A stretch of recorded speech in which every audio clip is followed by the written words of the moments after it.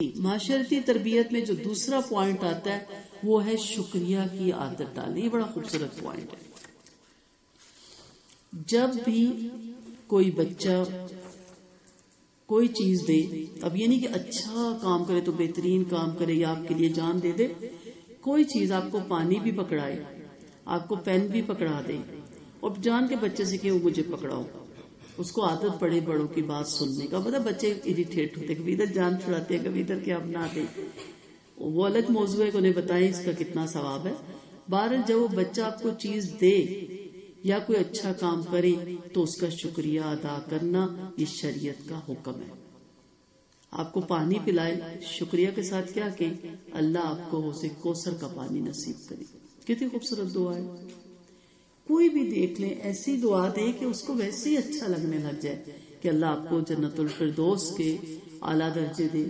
अल्लाह आपसे आपका रब राज़ी हो जाए, आपको राज़ी कर दे। कह सकते हैं ना? ये भी के, बेटा, आपने मेरा दिल खुश किया अल्लाह आपका दिल खुश करे। हमारे अल्फाज कहाँ गए थैंक्स कह के परे मारते हैं हम। हम तो मुसलमान लोग हैं, हमारे पास तो इतनी खूबसूरत दुआएँ हैं। और पहले जब मैं अपने बड़ों को याद करती हूँ तो वो दुआएँ देते थे। निकलते हुए भी, आते हुए भी सर पे हाथ रख के भी जू दुआएँ देना शुरू करते थे। अब तो दुआओं का रवाज ही नहीं रहा। हेलो हाय अल्लाह हाफिज भी नहीं कहते। और सी यू और पता नहीं क्या कुछ अल्फाज यूज़ करके और एक दूसरे को हक करके फारिग कर देते हैं। लाजमन शुक्रिया अदा करें। घर के अंदर छोटे छोटे कामों में बच्चों का शुक्रिया अदा करें। शरीयत ने बताया, लम यशकुर नासा, लम यशकुर कि जो इंसान का शुक्र अदा नहीं करता इंसानों का, वो अल्लाह का शुक्र भी अदा नहीं करता। एक इंसान आपके साथ रहता है और अल्लाह ताला ने आपको वो दिया और वो आपको इतने फ़ायदे पहुँचा रहा है। तो आप इस चीज़ का शुक्र अदा नहीं कर रहे तो फिर आपने अल्लाह का और क्या शुक्र अदा करना है? तो जो कोई लोगों का शुक्र नहीं करेगा, वो बंदों का भी, इंसान अल्लाह का भी शुक्र अदा नहीं कर सकता। हमारे माहौल माशरे में शुक्रिया अदा करना बहुत कम हो गया आप दुकानदार से चीज़ ले रहे हैं, पैसे दे रहे हैं ना, वो एहसान नहीं कर रहा। लेकिन आप चीज़ लेते वक्त बाल दुकान कहते हैं, शुक्रिया भाजी कहते हैं ना दुकानदार। आप भी तो कह सकते हैं, शुक्रिया, लेते वक्त। उसने खोला है, निकाला है, ठीक है, उसका ये कारोबार था, उसको निकालना है, खोलना है, दिखाना है, कपड़ा, ये जूता है। लेकिन क्या एक अल्फाज नहीं आप उसको दे सकते? उसको भी खुश अच्छी हो कि चलो माल तो बिका है, लेकिन मैं मुझे रिगार्ड भी दिया गया इस चीज़ का कि मैंने इतना कुछ उनके लिए खोला है।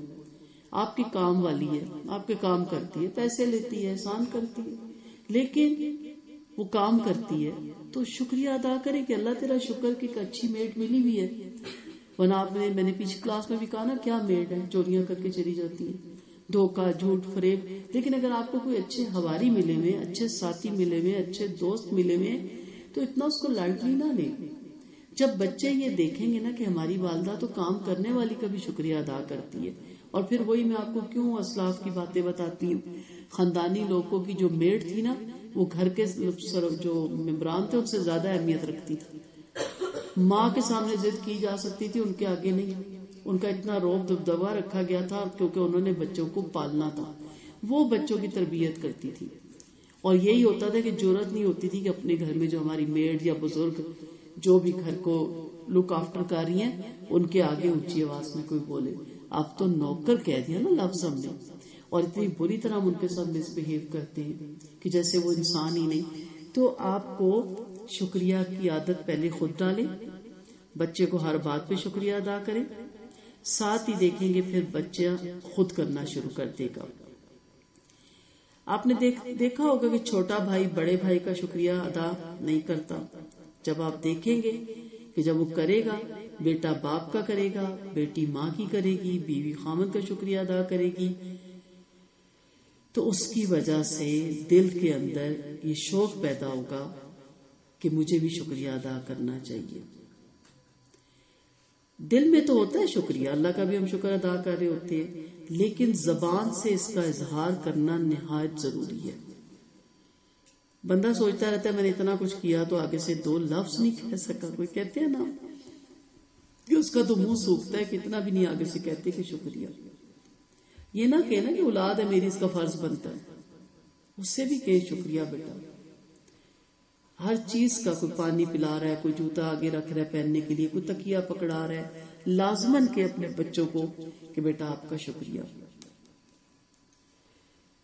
तो इसलिए एक जो आदत है वो शुक्रिया की ज़रूर डालें। एक दफ़ा का वाक्य है, एक राइटर ने अपना वाक्य लिखा कि पेरिस से न्यूयॉर्क जाना था तो सात वाली सीट पर एक अमेरिकन लड़की आकर बैठ गई। जिसके पास ढाई तीन साल की एक बच्ची थी।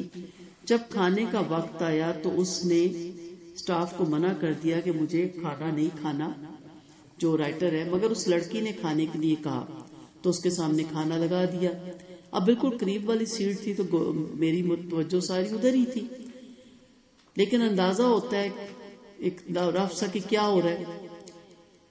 ये कहते मैं किताब लिखने बैठ गया।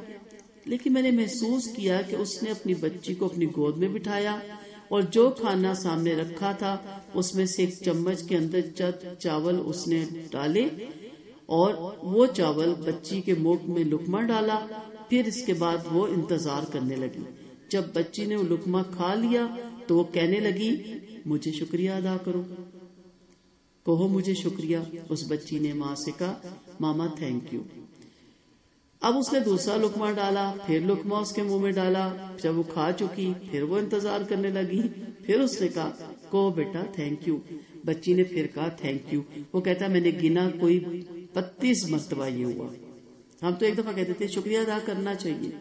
बस उसके बाद फारिग वो कहते मुझे इतनी हैरानी हुई कि देखो ये काफरा लड़की है मुसलमान नहीं है।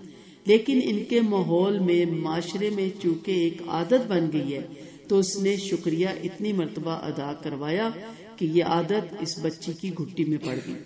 हालाँकि ये मामला मुसलमान बच्चे के साथ होना चाहिए था। लेकिन आज हमारी कितनी माए जो बच्चे को खाना खिलाती हैं, दूध पिलाती हैं, क्या उसको ये भी सिखाती हैं कि तुमने मामा का शुक्रिया अदा किया?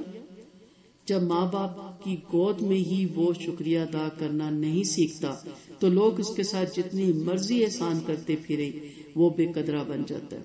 इसे कोई कदर नहीं होती। नतीजा ये निकलता है कि ना बंदों का शुक्रिया अदा करता है, ना बंदों के परवरदिगार का शुक्रिया अदा करता है। हमने कई मरतबा देखा है, बैरून मुल्क में भी जाके मदारस के अंदर के मुसलमान बच्चों को तालीम दी जा रही है। तो हमने सोचा कि आज हम कुछ चीज़ें बच्चों में तकसीम कर दें। कतार में चालीस पचास मुसलमान बच्चे सामने से गुजरे, राइटर अपना लिख रहे हैं। तो उनकी उनको कोई चीज़ दी और उनमें से किसी ने शुक्रिया का लफ्ज ना कहा सवाए कोई एक दो बच्चे की। यानी हम मुसलमानों का ये हाल हो गया कि हम मदारस में, मसाजिद में उस जगह भी ये तरबियत नहीं कर रहे। हालाँकि उनके घरों का माहौल वाकई बहुत नेक था और माओ ने भी बड़ी अच्छी तरबियत हासिल की हुई थी। अफसोस ये हुआ कि हमारे घरों की औरतें, लड़कियाँ अपने बच्चों को बुनियादी तरबियत से गाफिल है। अपनी बच्चियों को जजाक अल्लाह सिखाना भूल गई हैं। लाजमन सिखाएँ अपने बच्चों को जजाक अल्लाह। हर एक काम में जजाक अल्लाह। बच्चे बाहर आपके साथ शॉपिंग पे जाते हैं, जब आप देख लें तो फ़ौरन चीज़ लेने लगे तो को बेटा, अंकल का शुक्रिया अदा करें। तो जजाक अल्लाह के। कहते हैं बच्चे, बिल्कुल नहीं झिझकते, लेकिन जब वो जरा बड़े हो जाते हैं ना, फिर उनको बहुत मसला होता है। फिर जब हम कहते हैं कि आप शुक्रिया अदा करें। छोटे से बच्चे के सामने खुद करें, वो देखता रहता है और खुद ब खुद उसके मुँह से निकलता है जब वो थोड़ा बड़ा होता है। तो जब आप शॉपिंग कर चुके, जब सामान उठाने लगे, खुद भी कहें जजाक अल्लाह और साथ खड़े बच्चे को कहे, बेटा अंकल को थैंक्स बोलो। बिल्कुल ना झिझके कि बुरा लगता है। मैं अपनी बच्ची को लाजमन ये ट्रेनिंग देती हूँ। जब भी वो कोई भी चीज़ खरीदे, लिफाफा पकड़ते हुए कहती बेटा थैंक्स नहीं बोला। वो कहती है, शुक्रिया अंकल और मैं पीछे से हल्का से कहती हूँ जजाक कि बच्चे के अंदर दोनों चीज़ें जाए, कि जजाकल्ला कहना है, अब कभी उसके मुँह से जजाकल्ला निकलता है, कभी उसके मुँह से थैंक्स निकलता है, कभी शुक्रिया। क्योंकि वो ज़्यादा इंग्लिश मीडियम की पढ़ाइयों का भी असर होता है। लेकिन कहते रहे कहते रहे हर बात पे। और अगर कोई कहना, नहीं नहीं, बच्चे को क्यों कह रही हो? मैं पुप्पा हूँ, मैं खाला हूँ को नहीं। बड़ी बात है, आप इससे प्यार करती है, इसका भी शुक्रिया। अल्लाह का शुक्र कि हमारे बच्चों से फूफियाँ, खाला, मामू प्यार करती है, थोड़ी बड़ी बात है। कोई तोहफा ला रहे हैं कमी नहीं है आपके बच्चों को। मोहब्बत है तो कोई तोहफा ला रहे ना। क्यों पागल है कोई खरीद के ला रहा? है उसे पता है आपके पास सब कुछ है, बच्चे को आपने सब कुछ घर में कौन माँ बाप नहीं देते, लेकिन उनकी मोहब्बत उन्हें मजबूर कर रही है कि हम इस बच्चे के लिए कोई भी चीज़ ले जाए, चॉकलेट भी ले जाए। उस मोहब्बत का शुक्रिया। क्योंकि दिल में अल्लाह ने डाली ना, बंदा तो नहीं डाल सकता। तो हर चीज़ का शुक्रिया। कोई दावत पे बुलाता है, उठे, उठते वक्त दुआ भी दे बच्चे देख रहे हो कि आपने इस काबिल हमें समझा।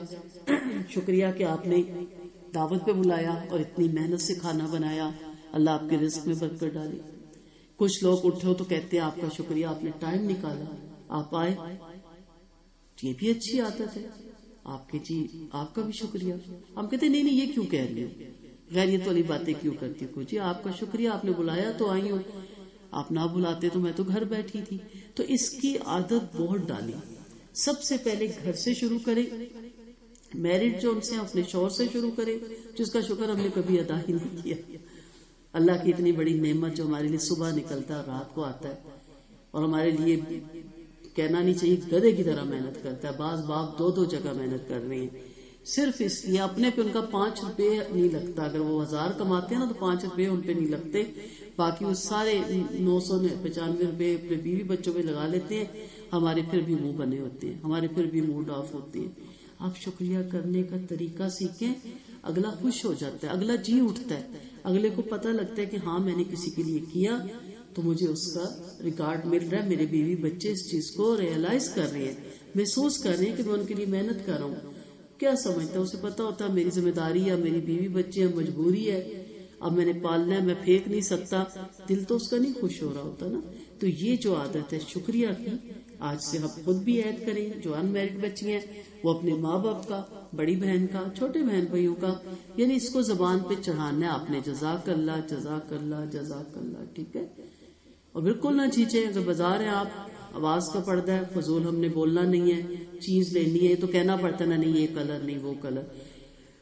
कुछ जगहों पे तो मर्द ले आती है, पर अब तो ज़्यादा 99 फ़ीसद तो औरतों को खुद ही निकलना पड़ता है। जब सब कुछ ले लें, लिफाफा उठाते हुए, उसकी आँखों की तरफ़ या फेस की तरफ़ देखने की ज़रूरत नहीं, उठाते हुए निकलते हुए जजाक करना ज़रूर के वो बहुत खुश होते हैं लोग, दुआ उनके दिल से निकलती है।